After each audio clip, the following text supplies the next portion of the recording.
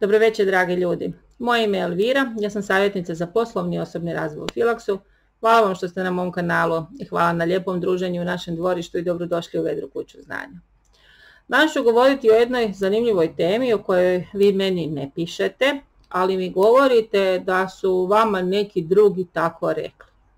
Dakle, meni ne pišu žene koje se tako osjećaju, već ispaštaju zbog nekih drugih koje njima to govore. Naravno mogu im govoriti žene ili muškarci. Ali ja ću se ovdje zadržati na, ovo što, na ovome što najčešće čujem, a to je ukrala mi sina, ukrala mi dečka, ukrala mi muža, ukrala mi prijateljicu ili prijatelja i slično. Ovo što čujete struganjem, to je moja Blue koja odlučuje baš u ovom trenutku naganjati svoju zdjelu s hranom, pa onda da znate da je prisutna tu, da nije nikako nigdje otišla, kao i svi ovi drugi koji baš kad ja krenem snimati odluče imati neki svoj privatni aranžman, pa ako i budete čuli kasnije, ovaj, moguće je da će biti nekakvi zvukova, ali evo znate već da ste na to navikli, ako bude nekakva velika drama ja ću zaustaviti pa ću u nekom trenutku nastaviti sa snimanjem. Eto kaže ukralo, ukralo mi nešto, uzelo mi nešto. Dakle, što je tu problem? Dakle, žene se javljaju i kaže, kažu da im sve krve prigovaraju kako su im otele sinove, kako ti sinovi sada više nisu jel, uz njih, pored njih, kod njih i slično. Naravno neki to već na vjenčanju kažu nemoj ti misliti da ćeš ti meni uzeti njega, jel, dakle ima i takvih situacija gdje ono osobi već u početku bude malo pripriječeno da ona ne misli slučajno da je ona sad supruga i da taj sin, odnosno muškarac, kreira novu obitelj i da ima pravo na tu svoju obitelj, nego se njoj kaže odmah da taj muškarac neće nikad biti njen jer on ima mamu ili tatu ili oboje ili sestru. Može biti sestra, ukrala si mi brata, ima i to. Ima recimo žena koje cijeli život polažu pravo na brata, a istovremeno, dakle, one se neće odreći tog svog muža, ali se brat treba odreći svoje žene. Iz nekog njima, mislim njima poznatog razloga, ali normalnim ljudima nepoznatog razloga.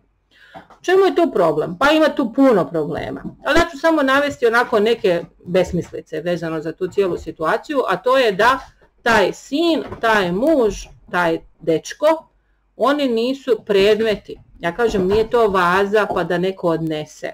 Znači prva pretpostavka je, ovo Storm radi, prva pretpostavka je da taj sin ili taj muž ili taj dečko ili taj brat su totalni idioti. Znači to je prva pretpostavka i da se njih može prenijeti s mjesta na mjesto. Kad kažem totalni idioti, naravno ne želim nikoga uvrijediti, nego pretpostavlja se da su oni nesposobni muškarci koji ne znaju sami odlučiti, pa eto trebaju svoju mamu, bivšu curu ili bivšu ženu ili sestru da za njih odluče s kim će oni živjeti.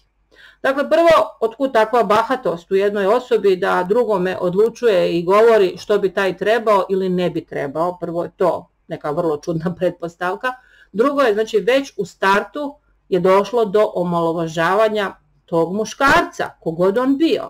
Dakle, pretpostavlja se da je on totalno izgubljen, da on nema pojma i nije priseban i da njega neko uzme znači, toljagu, lupi ga po glavi i onda ga odnese znači potpuno nesvjesna osoba. Ili je neka osoba koja nema niti malo inteligencije. Dakle, te žene kad tako pristupaju, valjda tako i vjeruju i misle. S druge strane, nekada muškarci koji su u toj ulozi to dopuštaju. Zašto? Pa ne žele se zamjerati svima ovima koje sam već navela. Neće oni ništa, nemaju oni s tim ništa, eto oni su sad u nekom drugoj situaciji, nekom drugom životu, oni ne bi htjeli da se mama ljuti, da se sestra ljuti, da se bivša ljuti, ne boj Bože da se oni ljute, nego on onako malo kao izmigolji, a zapravo pušta drugima da vode ratove umjesto njih. Dakle, koda oni ne postoje. Naravno, tu je i do tog muškarca, koji ne zna reći ovima koje sam već navela, dakle, da imaju ohoho već godina i da mogu jel, živjeti svoj život i da mogu samostalno odlučivati i da te neke nisu te osobe jel, koje će ga u tome spriječiti. Naravno ovo je za ove obiteljske priče, dakle mama, sestra, tata koji ono kroje sudbinu tom nekom svom jel, izdanku, da tako kažem, koji je očito nesposoban da bilo šta razmišlja svojom glavom, očito neki ono popriličan mutavac, jel, pod broj jedan. A s druge strane, ovo su dakle žene, odnosno cure, koje misle da im je netko uzeo partnera. Dakle, ti partneri odu sami. Dakle, oni iz nekog razloga, njima poznatog, odlučuju se za nekoga drugoga. I sad što je sad u čemu je stvar? Te žene se okome na drugu ženu. A ta druga žena može biti, mislim, u krivu žena, možda stvarno nije ni trebala se u to petljati, ali ako je ta žena slobodna ili ta žena nenasrčena tog muškarca, a on sam odluči da više neće s ovom prethodnom i ode kod ove druge, pa nije ga onda ta druga ukrala i nije uzela vazu pod ruku ili sakrila u džep i njega odnijela. Jel? Dakle, to se isto ne može. Nego to se ne rješava s tim ženama, to se rješava s tim muškarcima. Pa se onda pita, jel, dakle, mogu li ti ja nešto ponuditi jel, unutar tog odnosa zbog čega bi ti htio ostati. Jel? Ako ne postoji ništa, e onda treba isto tako zadržati dostojanstvo i reći ok, ta osoba ima neku bolju ili možda lošiju, ali drugu priliku i želi nešto drugačije. Mnoge žene tu se okome dakle, na druge žene, pa onda krene, ne znam, obilazak tih žena, odlazak kod koji kakvih gatara da naprave nešto toj ženi, mislim o tome to je posebna tema, to točno nekom drugom prilikom. Onda naravno ogovaranje tih žena, pa onda provjeravanje tih žena i slično. Ne, to se rješava s tim vašim muškarcem. Ako on nije spreman za razgovor, e onda ste odabrali pogrešnog muškarca. To je tako, je vrlo jednostavno. Ako jest spreman za razgovor, onda to s njim rješavate pa ga pokušate zadržati ako želi.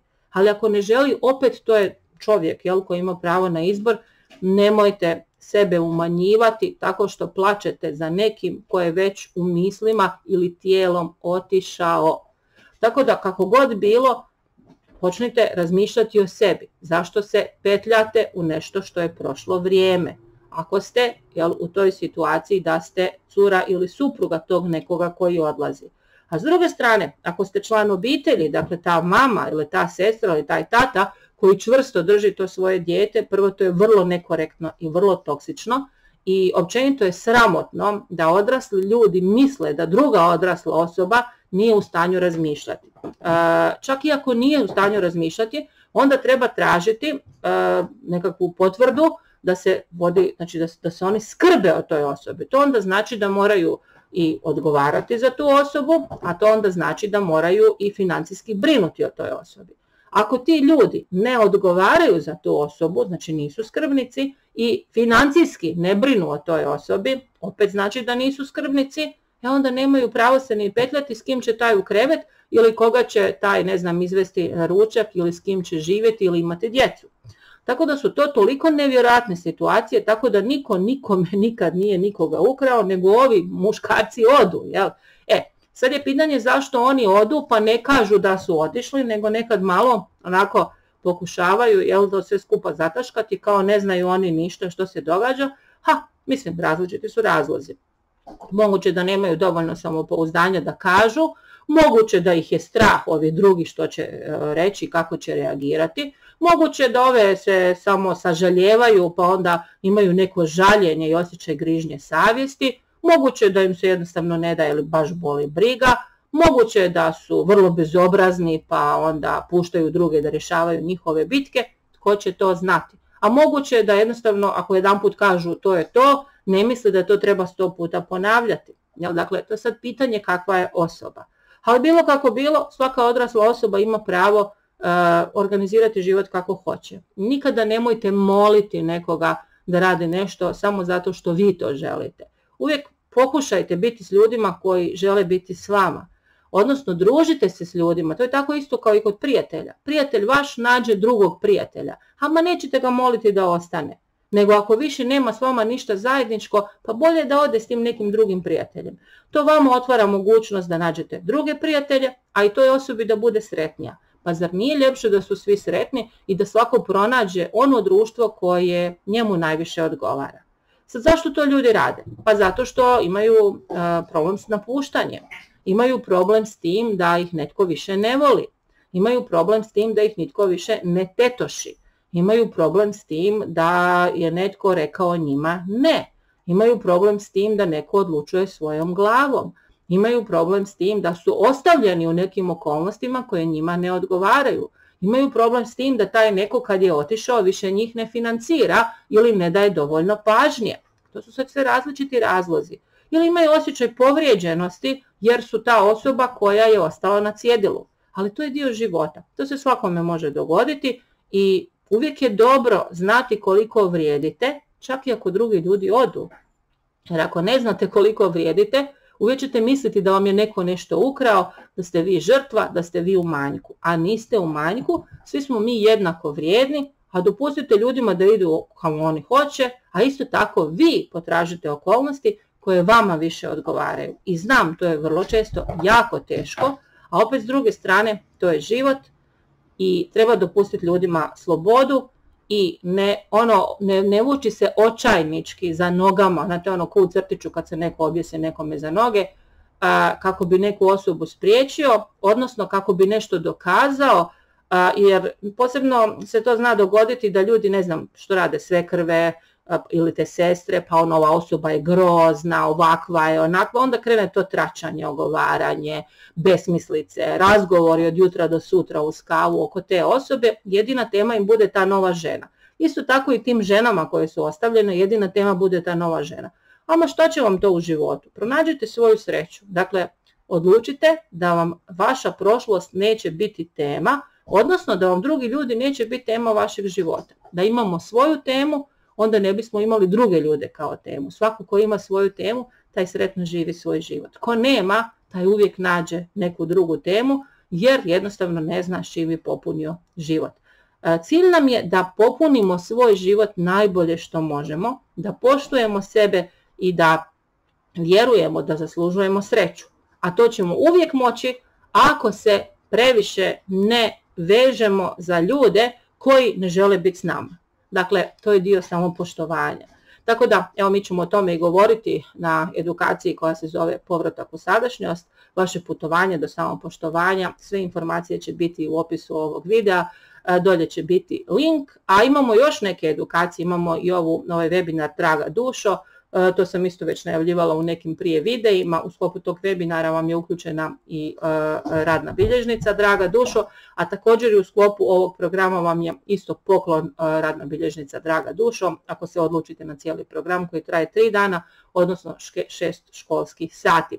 I ponavljam, program Moćna ja, dakle imamo Moćna ja drugi dio, a, to smo imali u 11. mjesecu prošle godine, a, sada imamo drugi dio koji nije uopće isti kao prvi, tako da ako ste bili na prvom dijelu možete biti na drugom jer je nova tema, a naravno ako niste bili možete biti samo na drugom dijelu, nisu, nije nastavak u smislu da ne možete ponovno pohađati ako niste bili na prvom. Sve informacije, sve linkove ću staviti u opisu ovog videa. Hvala vam što ste tu. Evo, meni je na kraju radnog dana, već vidim da je 22 i 32, mislim da, da, da se odjavljujem polako. Objavila sam nove edukacije, završila sam individualni rad s vama, Slobodno se javite ako želite razgovarati, e, konsultacije se održavaju online, sve informacije su također u opisu ovog videa. Približavamo se broju 10.000 pretplatnika, kliknite like, kliknite ovaj e, gumbić pretplati se i naravno ovo zvonce ako želite dobiti novu informaciju o videu. Molim vas da napišete vaše iskustva ako ste imali situaciju da je netko e, držao tog vašeg muškarca, ono moj, moj, moj, otela si, uzela si, ukrala si, a da napišete ko je to bio i kako je to bilo, odnosno kako ste to riješili i jeste li imali uopće takva iskustva, možda niste. A ako jeste, napišite kako ste riješili, ako niste, napišite što biste vi učinili da vam se to dogodilo. Hvala vam puno, uživajte u večeri i laku noć vam želim.